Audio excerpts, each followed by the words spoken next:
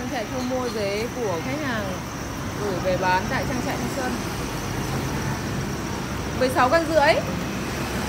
16 cân tư.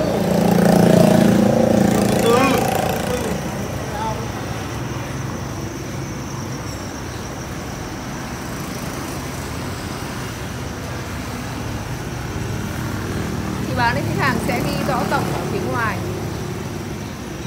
Đủ cân tổng cân ở bên ngoài ghi bì và ghi ờ, số lượng dế là bao nhiêu?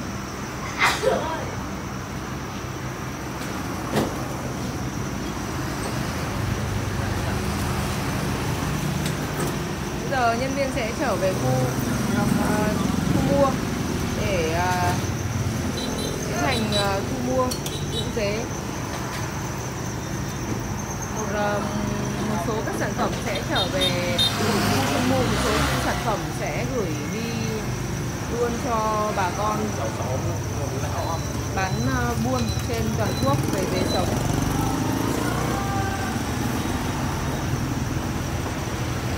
khách hàng gửi về qua bến xe Gia Lâm thì ờ, nhân viên có tạt qua vào ờ, khu Tam Trinh, một Tam Trinh để trên Trại Dân có quay sơ sơ để bà con nắm được. Còn thường là sẽ chở hết về khu thu mua để cân cho bà con.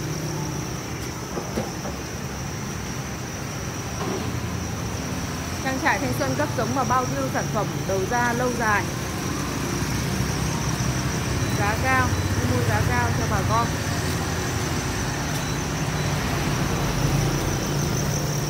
Đây là bà con đóng bằng bì à đóng bằng bì ờ, giấy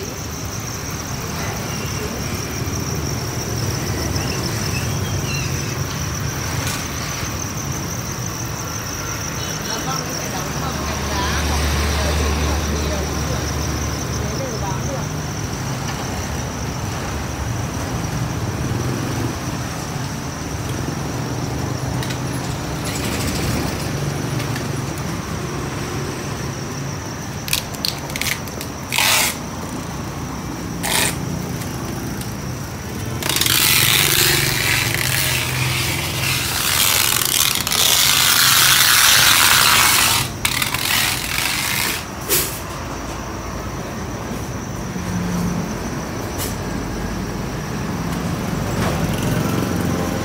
khi bán bằng vỉ trứng thì bà con sẽ đóng làm sao?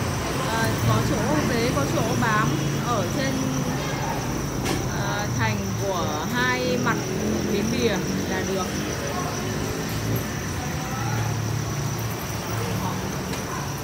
Nếu bà con đóng bằng bìa cũng thế ghế sẽ có chỗ bu bám.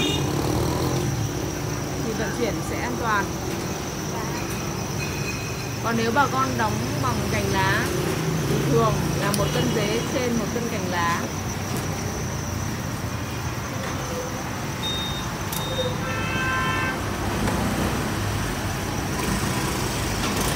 Bây giờ nhân viên sẽ chuyển về khu thu mua.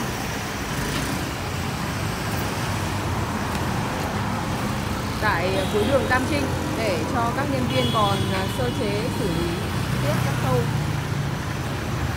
Bây giờ là 12 giờ trưa à, Tất cả các thời gian trong ngày khi à, ô tô báo về bán thì trang trại chân đều có nhân viên hỗ trợ đi thu mua cho bà con về giấy thương phẩm, đắp kè, bỏ cạp Bà con tham khảo để website trang trại thanh sân com để theo dõi các thông tin.